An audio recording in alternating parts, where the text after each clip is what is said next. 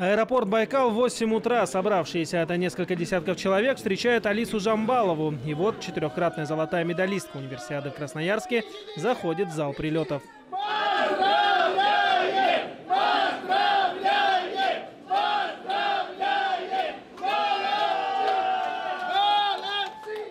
По традиции Алисе ее тренеру вручают хадаки и угощают белой пищей. Уже на выходе из зала журналистам удается задать лыжнице несколько вопросов.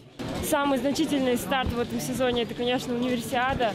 Там э, очень много было знакомств, очень много было разных мероприятий.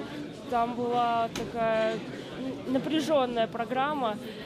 И э, последующие там вот, чемпионат России, там у меня были, остались как бы силы, и тоже он прошел удачно. А после обеда Алиса и Саян Жамбаловы встретились с депутатами Хурала. Народные избранники признались, что следили и переживали за выступлениями землячки. Какие результаты? Они даются неспроста. За этим кроется огромный труд, конечно, ваших тренеров, огромный труд вас, э, воля к победе. Вы просто молодцы. Мы постоянно следили за информацией в новостной ленте, мы видели, как вы гордо стоите на пьедестале. У нас возникла гордость и за Бурятию, и за Россию.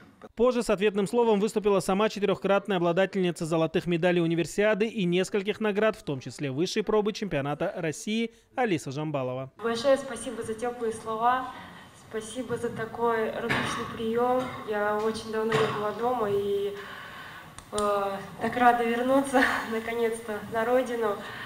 Э, наконец-то я отдохну и э, наберусь энергии к следующему сезону. Сегодня, подводя итоги прошедшей универсиады, Саян Жамбалов подчеркнул, что золото Алисы ни в коем случае нельзя принижать и говорить о слабом составе участниц студенческих игр. На этой а, универсиаде по крайней мере, я насчитал 7 девушек, которые принимали участие в первой зимней юношеской олимпиаде еще в 2012 году.